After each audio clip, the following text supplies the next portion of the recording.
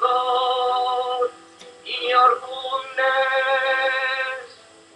in your great tenderness, wipe away my fault. Wash me clean of my guilt. Purify me from my sin.